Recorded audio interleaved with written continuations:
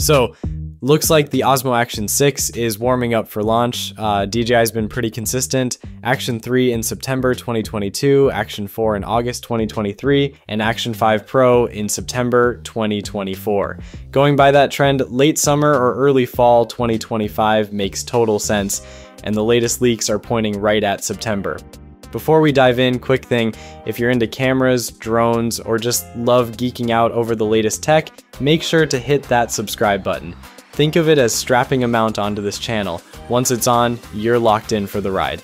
Now, here's the thing. We're not looking at brand new leaks today. Think of this as a little catch up because we haven't talked about the Action 6 in a while and it's getting closer. Design wise, it's not a wild departure. Leaked shots show the same rugged rectangular body and dual front back screens just like the 5 Pro. The changes are more evolutionary, a slightly bigger front camera housing, likely to make room for that rumored 1-inch sensor, and a new pill-shaped cutout under the front screen. Nobody knows for sure, but it could house a mic array, a status light, or even a gesture sensor. The lens looks a touch wider, the body a bit bigger, but overall, DJI seems to be sticking to its design language. The good news, your old mounts and accessories should still work. Waterproofing should stay strong too, around that 10 to 20 meter range, with those bright dual OLED screens carrying over. Now let's talk upgrades, because this is where things get exciting.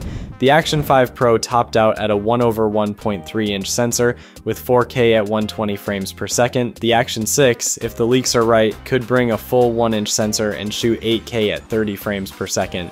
That's a massive jump, Dynamic range is also rumored to stretch past 13.5 stops compared to roughly 12.8 before. Stabilization's leveling up too, rocksteady 3.0 to 4.0, plus faster read-write speeds for storage.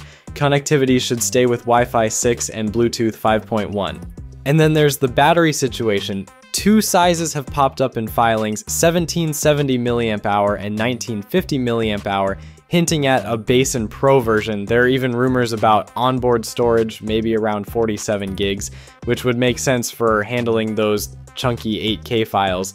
As for pricing, leaks suggest a standard kit with a battery and basic mounts could land around 329 to $429, while the adventure kit with extra batteries, waterproof housing, and mounts might run between $479 to $579 pretty close to where the Action 5 Pro launched. So yeah, the countdown's on. Late September looks like when we'll finally see DJI pull the wraps off.